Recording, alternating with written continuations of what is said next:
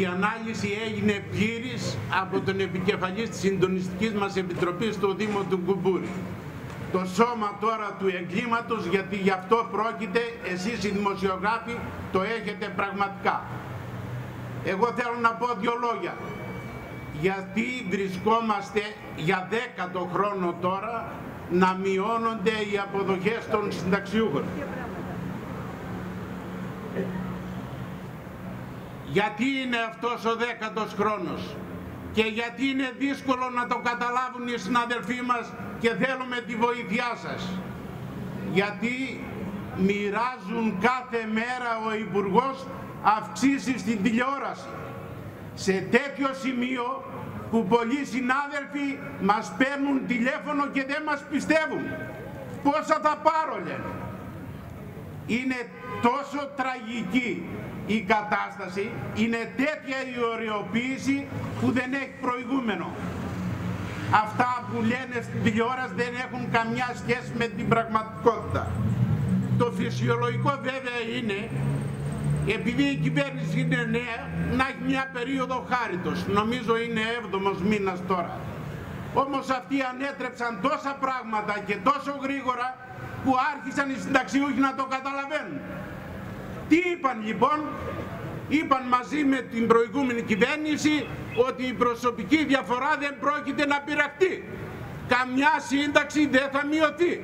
Προχτές είπαμε στον Υπουργό το Βρούτσι αφού δεν πρόκειται να μειωθεί καμιά σύνταξη Υπουργέ και είμαστε και ηλικιωμένοι και βλέπουμε στο χαρτί που μας στείλατε την προσωπική διαφορά, πάρτε τη από εκεί.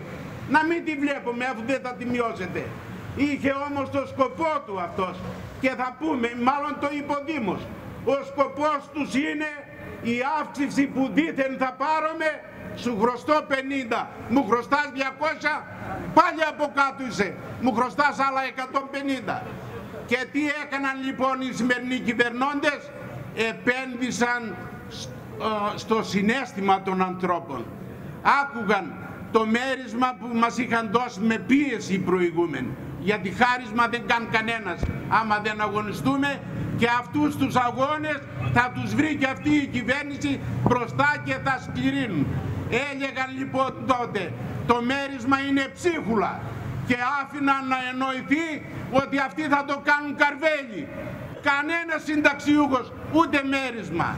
Έλεγαν λοιπόν τότε η σύνταξη είναι κουτσουρεμένη η 13η και αλήθεια ήταν.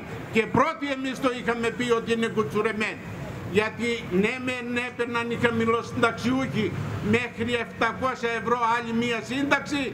Οι άλλοι όμως μέχρι χίλια έπαιρναν τη μισή. Και οι άλλοι που δεν είναι και αυτοί λίγοι πάνω από το χιλιάρκο έπαιρναν το 1 τρίτο. Τι θα περιμέναμε λοιπόν όταν τους ακούγαμε έτσι να τη βελτιώσουν, να τη δώσουν σωστή μια σύνταξη για το καθένα. Αντί αυτού συνάδελφοι και συναδέλφισες και τα μέσα μαζικής ενημέρωσης που το ξέρετε, αυτοί υφύρπαξαν την ψήφο μας και τώρα μας φέρουν αυτό το έκτρωμα το νομοσχέδιο το οποίο είναι από τα πιο σοβαρά όλα αυτά τα μνημονιακά χρόνια τέτοια έρχονται. Δεν πρέπει να το κρύψουμε. Και επί Κατρούγκαλου και τώρα και επί προηγούμενα γιατί τον κύριο Υπουργό που έχουμε τώρα τον είχαμε και τότε.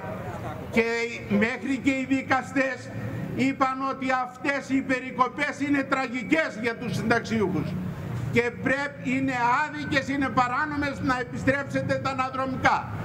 Έκανε πιλωτική δίκη τότε, χάθηκε η δίκη και μας τα χρωστάει ακόμα από τότε. Έχουν κερδίσει, έχει βγει η απόφαση του ΣΤΕ. Τώρα έρχεται με νέα πιλωτική δίκη ανήκουστα πράγματα.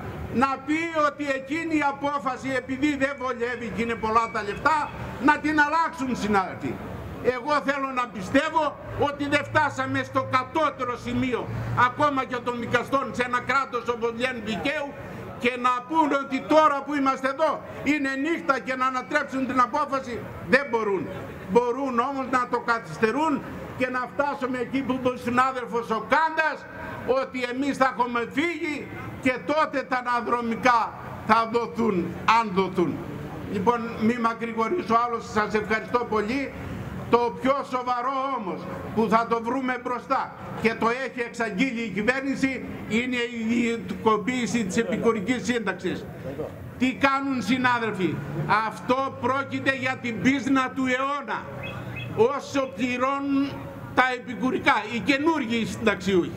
Δημιουργείται ένα πρόβλημα ότι εμείς από πού θα πάρουμε, από πουθενά θα έχουμε τις περικοπές, αλλά και για τους ίδιους, για όλο τον ασφαλιστικό βίο θα μαζεύουν τα χρήματα οι εταιρείες.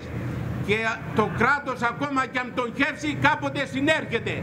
Αυτές οι εταιρείες κάνουν τα χρήματα αέρα, φτερά.